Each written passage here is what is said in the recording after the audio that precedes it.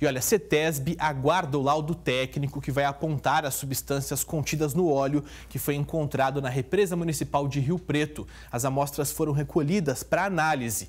A prefeitura também está investigando esse caso. Como você viu, quem está acompanhando essa história é a Melissa Alcântara, que ao vivo tem os detalhes para a gente. A prefeitura já informou de onde surgiu esse óleo, Mel. Bom dia. Olá, Casagrande, um bom dia para você e para todos que nos assistem. Já sim, viu? E inclusive a empresa responsável por causar esse dano já assumiu até a culpa. Eu vou pedir até para o Roaldi mostrar para os telespectadores entenderem direitinho. Está sendo realizada aqui ao lado uma obra em uma avenida que termina aqui na represa municipal. E a empresa que está à frente dessa obra disse que a rotina é acompanhar a previsão do tempo para saber que tipo de trabalho é executado em determinado dia. E que na sexta-feira consultou a previsão do tempo e a previsão disse que não iria chover, mas choveu.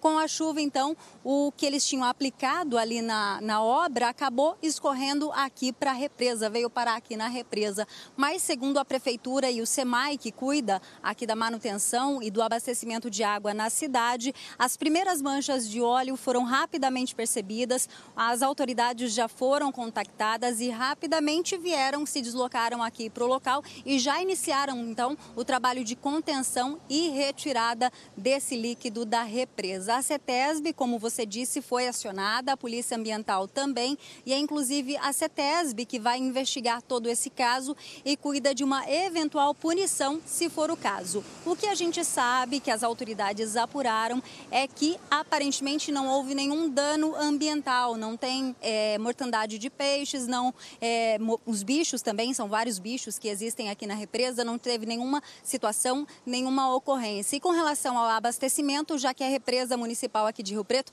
é responsável pelo abastecimento de 25% da população da cidade. Não houve qualquer intercorrência também. No momento, tudo tranquilo, já não, não tem nem barreiras no local. A gente pode observar, as pessoas estão até passeando por aqui, a represa está normalzinha, como deve ser, não é, Casagrande? Exatamente. Tudo que envolve a represa de Rio Preto acaba virando notícia por esse ponto importante que você falou, né? Um quarto da cidade é abastecida aí pelas águas da represa. Enquanto a Melissa falava, nós rodamos algumas imagens do impacto desse óleo. Pode soltar para mim de novo, novamente, porque chama atenção. Olha só, a capivara ali envolvida é, por esse óleo que foi atingido aí, que atingiu a represa. Aí o trabalho também de remoção e amostras de coletas, uh, de coletas aí desse óleo feita no fim de semana. Olha só o bichinho, coitado, ficou ali, né? Uh, foi atingido por esse óleo e aí depois as barreiras que foram utilizadas no sábado e no domingo para poder fazer a contenção do material. Como a gente observou e a Melissa trouxe para a gente aqui no nosso SBT interior, a empresa já fez meia culpa, já falou, ah, realmente